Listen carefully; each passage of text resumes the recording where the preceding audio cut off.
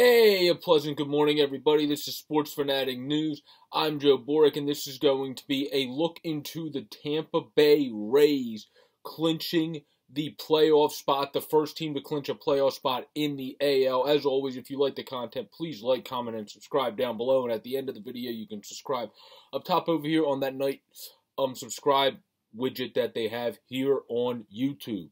But let's get right into why the Rays were able to again win their division. this year they were able to get the division, which is they're, they're going to seal. That that's going to get sealed. They clinched the playoff spot, and they are sitting pretty this year. It's because they instill a winning culture from the bottom up. All of their teams have been winning from single A up and have been doing great things and developing great prospects and also just bringing in different veterans that then all of a sudden have success um, what needed to be called upon, like Dietrich Enns, for example, who has about eight appearances and has pitched well when needed. Collin McHugh, who's been at it for a while. They bring in those good wily veterans. They brought in Robertson, who hasn't worked as well, coming off of pitching good for Team USA. But now they have Nick Anderson back, who's only had five appearances, so he's going to be really fresh for the playoffs.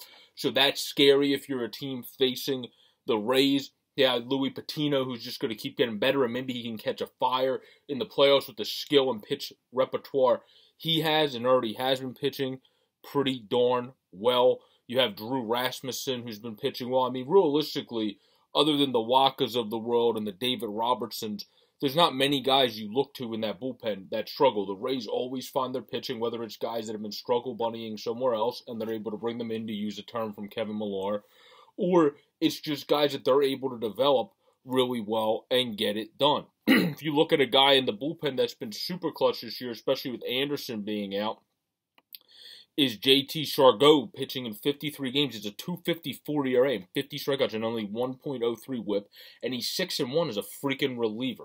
So, I mean, this is what sets apart teams. You have the great bullpen, and you have the good rotation that's able to get you at least through five innings usually, and then you can give it to that very good bullpen.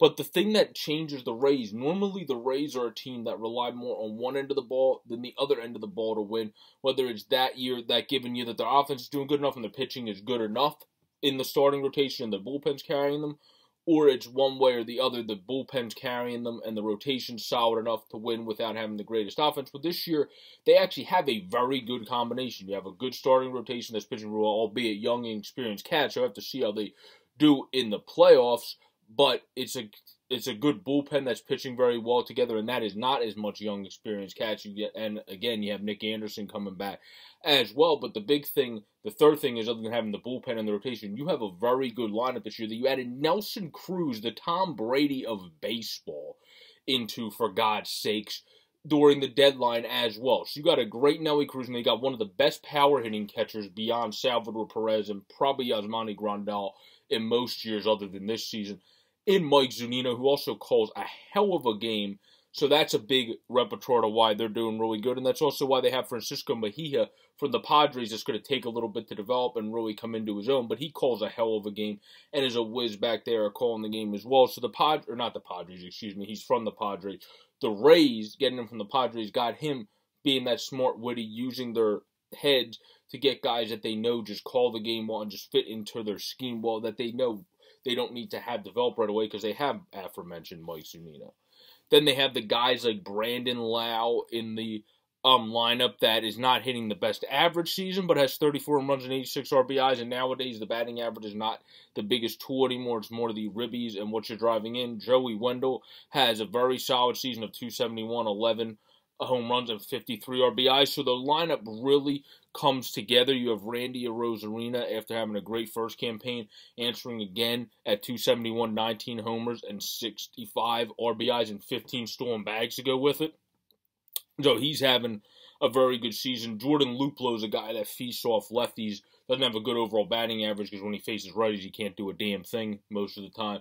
But he feasts off lefties, so they mix in all those good depth guys that have some veteran experience that have been around the shed as well. And then you have a 259 average, 10 home runs, and 57 RBIs to 13 stolen bases for Manny Margot.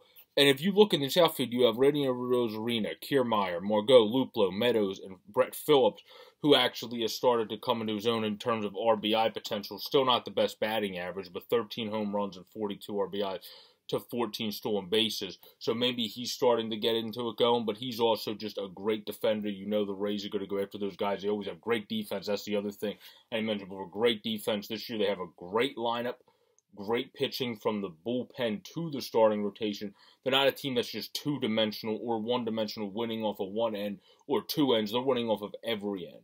They are a great team in the bullpen, a great team in the rotation, a great team defensively and a very, very, very good offensive team. That might be the thing that you would want to see because of the Kiermaiers of the world, because of the Phillips, because of um, having some guys that are a little bit more inconsistent in there. Obviously, you got Meadows at 103 RBIs, but you have some lower batting average. That lineup might be the thing you would label at just very good and not at the great status. But either way, having something very good and three things is great that's sure plenty enough to get you deep into another playoff run if you're the Tampa Bay Rays. And this is going to be a very dangerous team coming into the playoffs. I hope you all enjoyed this video recapping the Rays being the first AL team to clinch a playoff berth. Congratulations to Tampa Bay Rays fans. You are in the playoffs. You clinched the playoff berth. Looking to make a big, long run in the postseason as well. And your team definitely looks poised to do it. I ain't making any predictions to jinx anything, but they definitely look poised to do it because of the aforementioned reasons in this video. I hope you all enjoyed this video. This has been Sports Fan News. I'm Joe Boric. Peace out, everybody. Have a great, safe, and pleasant day. And as always, like I said at the beginning, subscribe over here on the widget if you want it, or like, comment, and subscribe down below.